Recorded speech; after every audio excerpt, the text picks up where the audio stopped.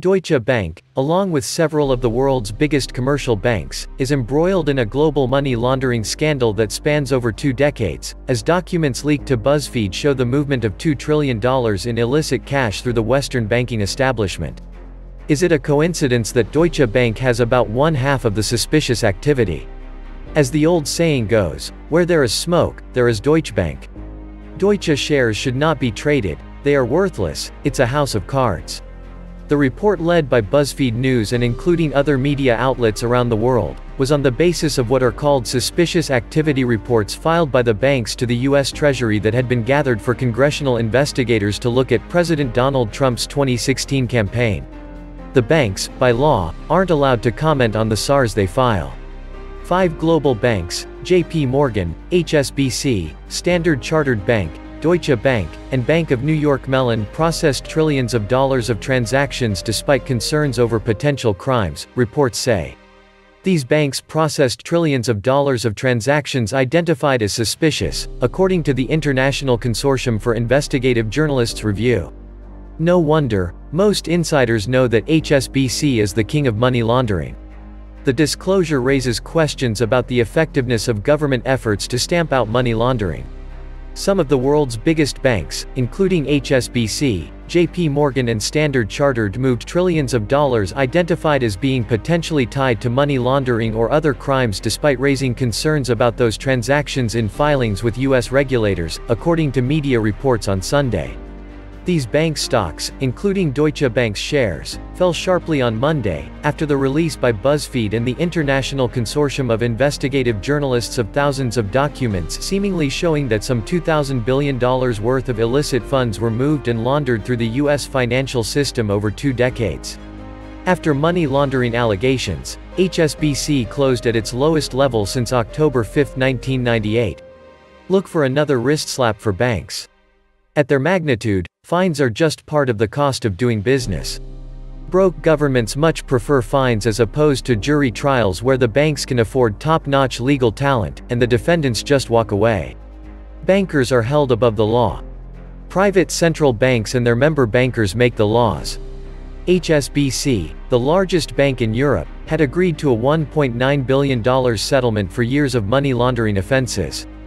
Don't kid yourselves, these penalties are just disguised payoffs to their organized crime lords, aka US federal government.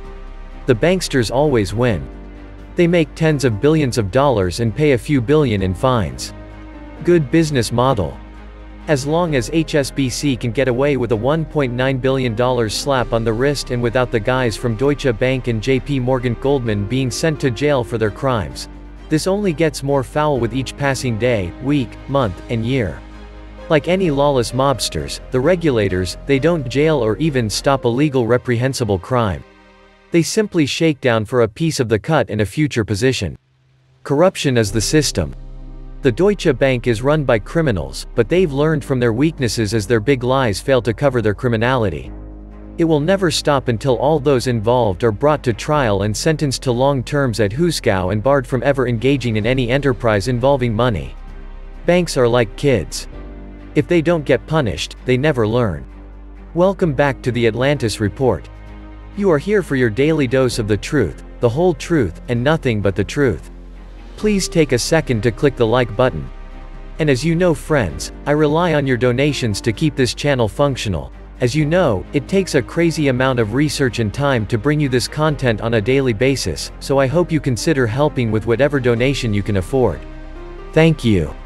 Not surprising. HSBC started life via China's opium trade. The International is a good film about this kind of bank corruption. And the UK Chancellor at that time, George Osborne, personally intervened on behalf of HSBC, writing to the SEC and begging them not to prosecute. Osborne has gone on to be handed millions in bankster and big corporate loot. This when he was born into great wealth, so he hardly needs more. Osborne now has a nice juicy backhander from BlackRock, as a non-active board member. All high-level politicians in the West are owned by banking and big corporation. Blair has been paid millions per year by JP Morgan since he left office. His official title is working as a JP Morgan ambassador. In reality, he is guarding that lump of usury manure from ever facing justice. It's hard being a bank these days. After all, the oligarchs, criminals, and terrorists have all the money. What are they to do? Lend money to the unwashed masses?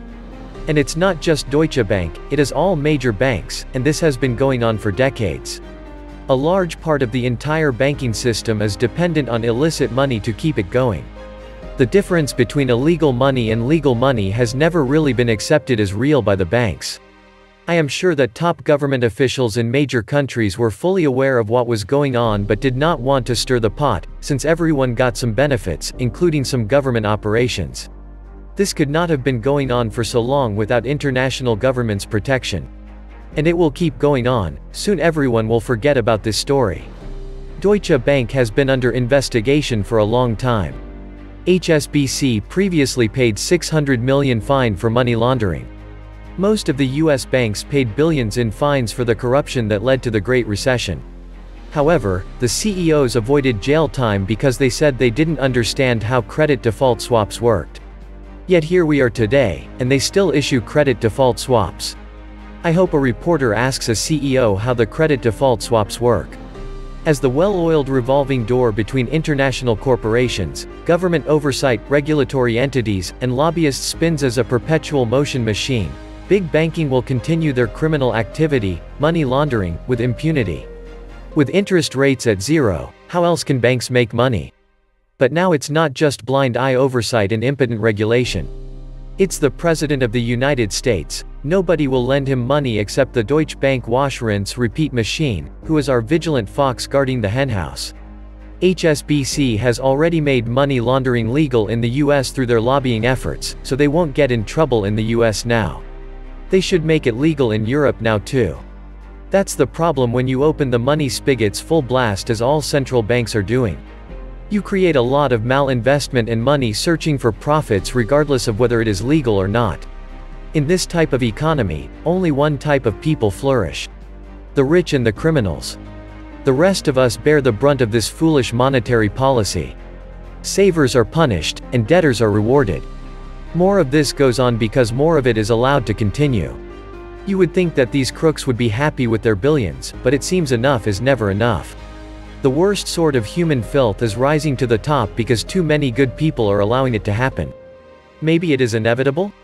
I don't know, but if we don't do something soon, this will reach a point where no law is the law. Say it after me. It is not okay to engage in criminal activity. Money laundering through banks has been an open secret for years. If you bother to look, essentially, all major banks have branches in the Cayman Islands, Antigua, Bahamas, Jersey, and most other tax havens, where any other businesses are essentially non-existent. What are the world's largest banks doing in these remote places, where there is nothing else other than beaches and luxury yachts? This recent outrage at money laundering is laughable. These banks had branches in all these tax havens for decades. And I have a feeling that these branches were not catering to the relatively poor citizens of these countries. I am pretty sure that the US government, the Chinese government, and all other major governments were fully aware of what has been going on, but these banks also catered to these governments' more or less hidden operations, which is why everybody closed their eyes. After this journalistic expose, Probably many governments will feel that they have to take some action to appease the public, but these actions will be some largely symbolic fines, after which business will go on as usual. Money laundering occurs 24-7 every year. The two favorites places for criminals to launder money are real estate and casinos. What do you think places like the Cayman Islands are doing, now that tourism is down to zero? You can buy a condo in Grand Cayman paying cash, and nobody will ask you where the money is coming from. Then sell the condo two months later, open a legitimate bank account in Grand Cayman, and tell the bank that the money comes from the sale of the condo. And every condo can be 10 or 20 million. Laundered money is also a cornerstone of overpriced stocks. The only reason the many illegal activities, human trafficking, drug trade, white-collar corruption, etc. can continue on a massive scale is because high-level government and intelligence officials are getting a cut of the profits. Much of this corruption is done in public, but no serious investigation by the FBI or DOJ, whose actual duty is to protect those in control. Obviously, the money changes are in on it and are making billions. Does anyone think that the clever activities of criminals organizations created by the likes of Meyer Lansky have stopped after his death? They are now run by parasites with Harvard MBAs and law degrees. The reason the drug trade is thriving in the US is because the financial parasites are actively laundering the money, and politicians and intelligence agencies are taking a cut. Most Americans see it around the world but believe our leaders are outside the corruption. It couldn't continue without their support. Funny thing the 2008 financial crisis happened right after Wells Fargo had to shut down their aviation-powered money laundering service to the cartels, so said cartels pulled billions out. Pretty sad when the world economy is so fragile that regulators, let's euphemistically call them law enforcement, cannot risk taking formidable action against the banks and its executives, for fear the banking system will collapse. If, in fact, this system is as delicate as an eggshell, these actions are only kicking the can down the road while the obligations of the banks grow larger. If the system is rotten and full of deadwood, a paint job will not repair it. Only a disassembly and reassembly of banking will fix this mess, coupled with very strong oversight.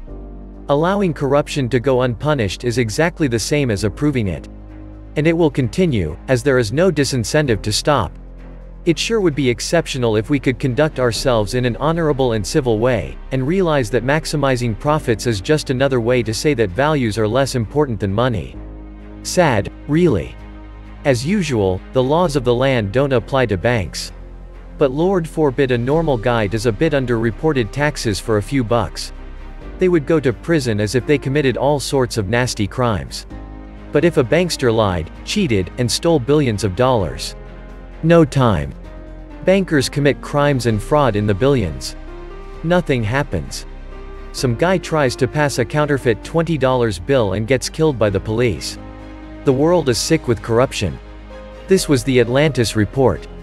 Please like, share, leave me a comment, subscribe.